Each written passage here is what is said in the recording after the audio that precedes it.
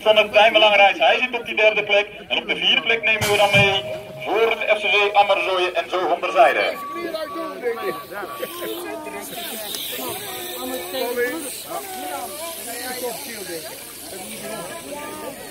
Ja, weer een uh, leeftijd hoger.